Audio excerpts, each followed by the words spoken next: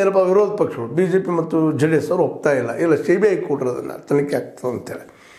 ಇವೆಲ್ಲ ಎಲ್ಲರೂ ಆಡಳಿತದಲ್ಲಿ ಇದ್ದಿದ್ದಲ್ಲ ರೀ ಈಗ ನೋಡಿದ್ರೆ ನೀವು ಹಿಂದೆ ಇದೇ ಒಂದು ಮೋದಿಯವರ ಶರಣಗು ಮಠದ ಒಂದು ಮೇಲೆ ಆರೋಪ ಮಾಡಿದಾಗ ರಾಹುಲ್ ಅವರು ರಾಹುಲ್ ಅವರು ಹೇಳಿದ್ರಾಗ ಇಲ್ಲ, ಜೆ ಪಿ ಸಿ, ಅದು ಜಾಯಿಂಟ್ ಪಾರ್ಲಿಮೆಂಟರಿ ಬೋರ್ಡ್ ಮಾಡ್ರಿ, ಕಮಿಷನ್ ಮಾಡ್ರಿ, ಅಲ್ಲಿ ಎನ್ಕ್ವೈರಿ ಆಗಲಿ ಅಂತೇಳಿ ಮೋದಿ ಅವರ ಮೇಲೆ ಆರೋಪ ಮಾಡಿದ್ದು.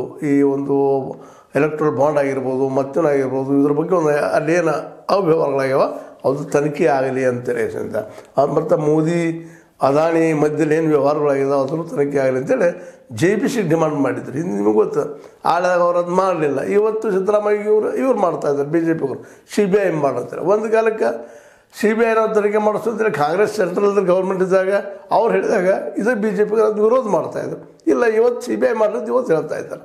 ಅಂದ್ರೆ ಇಲ್ಲಿ ಎಲ್ಲರಿಗೂ, ಯಾರ ಮೇಲೆ ಯಾರಿಗೂ ವಿಶ್ವಾಸ ಇಲ್ಲ ಅಂತ.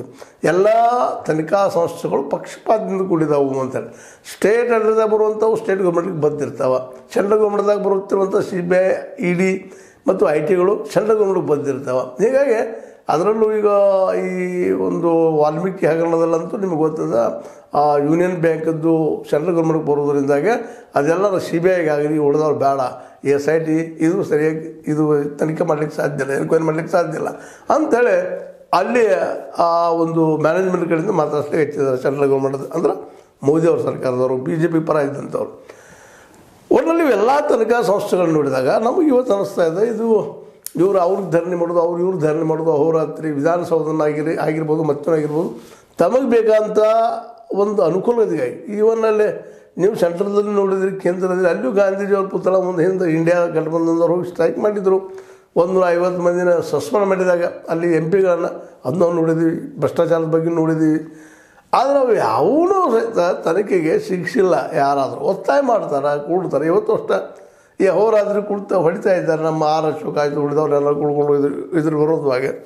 ಅದಕ್ಕೆ ಈಗ ಸಿದ್ದರಾಮಯ್ಯರು ಮತ್ತು ಅವರು ಉಪಮುಖ್ಯಮಂತ್ರಿ ಡಿ ಕೆ ಶಿ ಅವರು ಹೇಳ್ತಾ ಇದ್ದಾರೆ, ಇಲ್ಲ, ಅವ್ರ ಹಗರಣ ನಾವು ಹೊರಗೆ ತೆಗಿಯಾಗಿದ್ದೀವಿ ಈಗ ಟೋಟಲ್ ಅವರು ಹತ್ತೊಂಬತ್ತು ವರ್ಷದಲ್ಲಿ ತೆಗೆದಾಕೊಂಡು ಕೂಡ ಎಲ್ಲ ಸಿಗ್ತದೆ ಅಂತ ತಿಳ್ಕೊಂಡು ಹೊಸದು ನಡೆಸಿದಾರ ಅಹೋರಾತ್ರಿ ಅಂತೇಳಿ ಇದು ಆರೋಪ ಪ್ರತ್ಯಾರೋಪ ಮಾಡ್ತಾ ಹೋದ್ರೆ ನಿಜವಾಗಿ ನ್ಯಾಯ ಸಿಗ್ತದೇನೋ ಉತ್ತರ ಸಿಗ್ತದೇನೋ ಜನಸಾಮಾನ್ಯರ ಪ್ರಶ್ನೆ.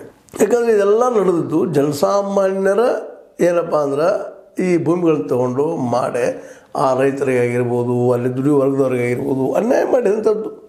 ಒಂದು ಅನೇಕ ಘಟನೆಗಳು ನಾವು ನೋಡ್ತಾ ಇದ್ದೇವೆ. ಈಗ ನೋಡ್ರಿ ಮುಡಾದಲ್ಲಿ ತನಿಖೆ ಆಗಬೇಕಂತ ಹೇಳ್ತಾ ಇದ್ದಾರೆ. ಆಗಲೇಬೇಕು ಅದು. ಯಾರಿದ್ದಾರೆ ಅದರಲ್ಲಿ? ಅದನ್ನ ಹುಡುಕಬೇಕು. ಆದರೆ ಯಾರ ಕಡೆಯಿಂದ ಅದನ್ನು ತನಿಖೆ ಮಾಡಿಸ್ಬೇಕು? ಬಿ ಜೆ ಪಿಗೆ ಹೇಳುವಂಗೆ ಸಿ ಬಿ ಐ ಇದ್ದಾರೆ. ಸಿ ಬಿ ಐ ಹೆಂಗಂದ್ರೆ ಎಷ್ಟು ಪ್ರಾಮಾಣಿಕ ಅದಪ್ಪ? ಇಲ್ಲಿವರೆಗೆ ಈ ಗೌರ್ಮೆಂಟ್ ಬಂದಾಗ B J P government government ಬಂದಾಗಿಂದ ನೂರ ಇಪ್ಪತ್ತೈದು, ನೂರ ಇಪ್ಪತ್ತಾರು ಮಂದಿ ಒಳಗೆ ಮ್ಯಾಕ್ಸಿಮಮ್ ನೂರ ಇಪ್ಪತ್ತೆರಡು ಇಪ್ಪತ್ತ್ಮೂರು ಮಂದಿ ಎಲ್ಲ ವಿರೋಧ ಪಕ್ಷದವರು ಇದ್ದಾರೆ. ತನಿಖೆಗೆ ಒಳಗಾಗೋರು. ಅಂದಾಗ ಯಾರು ನಂಬೋದು? ಇಡೀನೂ ಅಷ್ಟೇ. ಮ್ಯಾಕ್ಸಿಮಮ್ ಎಲ್ಲ ಅಟ್ಯಾಕ್ ಯಾರಪ್ಪ ಅಂದ್ರೆ ವಿರೋಧ ಪಕ್ಷಗಳು ಮಾಡ್ತಾ ಬಂದದ್ದು. ಅವ್ರ ಮೇಲೆ ಮಾಡ್ತಾ ಇದ್ದಾರೆ.